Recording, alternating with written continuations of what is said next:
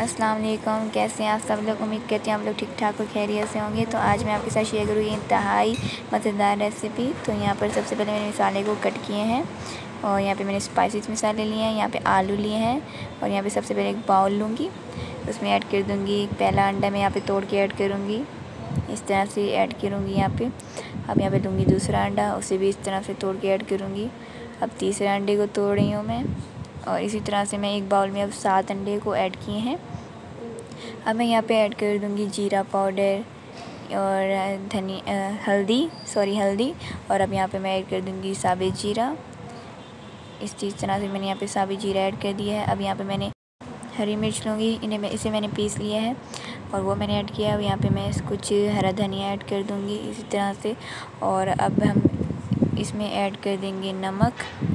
तो अब यहाँ पे मैं एक आधा चम्मच के करीब मैंने नमक लिया है, उसे ऐड किया है और अब मैं यहाँ पर ऐड करूँगी आधा चम्मच लाल मिर्च और अब मैं फिर इसमें ऐड कर दूँगी आधा चम्मच सूखा धनिया पाउडर। अब हम इन चीज़, सब चीज़ों को अच्छे से मिक्स करेंगे, इस तरह से अच्छे से सही से मेल्ट कर लेंगे। तो अब यहाँ पर मैंने कुकर लिया, इसमें थोड़ा सा पानी ऐड किया है। अब इन अंडों को मैं एक बाउल में ऐड करूँगी। एक टिफ़न ले लेंगे, उसमें ऐड कर देंगे, ऊपर से ढक्कन लगा देंगे और एक कुकर में जो पानी लिया था उसमें ऐड कर देंगे, इस तरह से रख देंगे। इसे हम अच्छे से भाप में बनाएँगे पकाएँगे तो यहाँ पर इसको ऊपर से ढक्कन लगा देंगे, दस मिनट तक इसे पकने देंगे। तो यहाँ पर मैंने सीटी भी लगा दी है, अब एक बाउल लिया है, उसमें मैंने ऐड कर दिया आधा चम्मच नमक, उसमें ऐड कर दूँगी आलू को। अब इसे हम बॉयल होने देंगे, ज़्यादा बॉयल नहीं आने देंगे थोड़ा सा बॉयल आएँगे तो फिर हम इसको उतार लेंगे। और अभी यहाँ पर मैंने कढ़ाई ली है, उसमें ऐड कर देंगे प्याज, दो अदद मैंने प्याज लिए थे, उसे बिल्कुल बारीक कट करके कट करके मैंने ऐड कर दिए हैं। इसे हमने ब्राउन ज़्यादा नहीं करना है बिल्कुल बिल्कुल लाइट ब्राउन करेंगे। और अब मैं यहाँ पे ऐड कर रही हूँ जीरा पाउडर और यहाँ पे लहसुन अदरक का पेस्ट ऐड कर देंगे और इन्हें सही से मिक्स कर लेंगे। चम्मच चम्मच को सही से लाएँगे और अच्छे से मिक्स कर लेंगे। और इस तरह से लाइट जब ब्राउन हो जाए, इसका कलर चेंज हो रहा है तो अब इसमें हम ऐड कर देंगे हरी मिर्च पीसी हुई जो थी मैं वो इसमें ऐड कर दूँगी। और इसे भी हम सही से मिक्स कर लेंगे। जो जो मिसाले हम ऐड करते जाएँगे, उसे अच्छे से मिक्स कर लेंगे, ताकि अब हम इसमें ऐड कर देंगे टमाटर। यहाँ पे दो ऑर्डर मैंने पिया टमाटर बड़े साइज़ के लिए थे, उन्हें मैंने इस तरह से कट करके वो मैंने इसमें ऐड कर दिया है। और अब इसका हम पेस्ट बना लेंगे। पाँच मिनट तक इसको हम पकाते रहेंगे, ताकि इनका अच्छे से पेस्ट बन जाए। और फिर हम इसमें ऐड कर देंगे नमक। अब यहाँ पे मैं एक चम्मच के करीब नमक ऐड करूँगी। तो अब मैंने पे नमक ऐड किया है और अब मैं इसमें ऐड कर दूँगी दो चम्मच लाल मिर्च। और अब मैं यहाँ पे अब एक चम्मच भरा हुआ सूखा धनिया ऐड कर दूँगी। यहाँ पे अब मैंने आधा चम्मच के करीब मैंने हल्दी ली है, वो मैंने इसमें ऐड कर दी है। इन सब मिसालों को हम अच्छे से मिक्स कर लेंगे और यहाँ पे थोड़ा सा पानी भी ऐड कर देंगे ताकि मिसाले जल ना जाएँ। थोड़ा सा पानी ऐड कर दूँगी और अच्छे से चम्मच को हिलाऊँगी ताकि सही से मिसाले मिक्स हो जाएँ और अब मैं इसमें ऐड कर दूँगी गरम मसाला और कौरमा मसाला ताकि कौरमा मसाला इसलिए ऐड किया ताकि इसका जो टेस्ट है वो अच्छा आए। तो अब हम इन चीज़ों को अच्छे से मिक्स करेंगे और थोड़ा सा फिर पानी ऐड करेंगे ताकि सही से मिक्स हो जाए मसाले।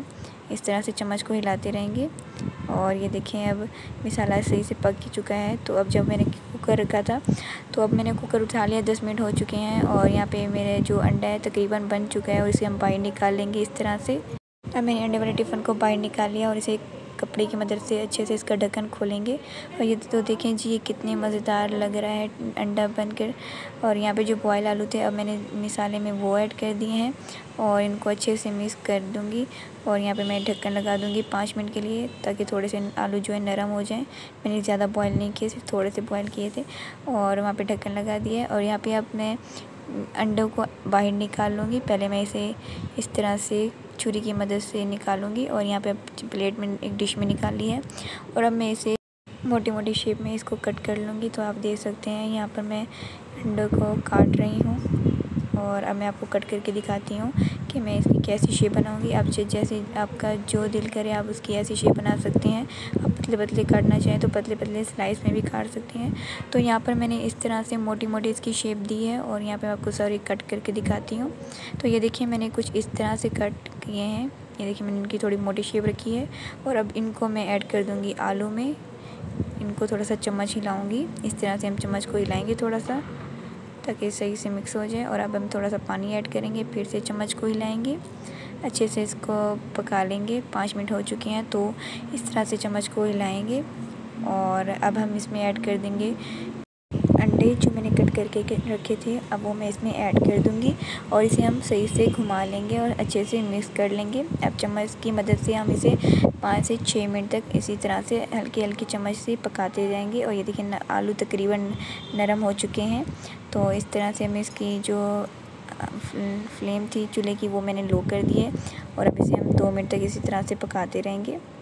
इसी तरह से चम्मच को हिलाते रहेंगे और पकाते रहेंगे। आपने इसे एक बार ज़रूर ट्राई करनी है, आपको बहुत पसंद आने वाली है और आपने मुझे कमेंट में बताना है कि आपको कैसी लगी है। अब दो मिनट हो चुके हैं और यहाँ पे मैंने गार्निश के लिए ऊपर मैंने ऐड कर दिया है हरा धनिया। और ब्रिक कट ब्रिक कट करके हरी मिर्च और यहाँ पे आपको डिश आउट करके दिखाती हूँ। तो ये देखें जी, मेरी सालन बन के फाइनली तैयार है। आपने मुझे कमेंट में ज़रूर बताना और मेरे चैनल को ज़रूर सब्सक्राइब करना है। शुक्रिया, खुदा हाफिज़।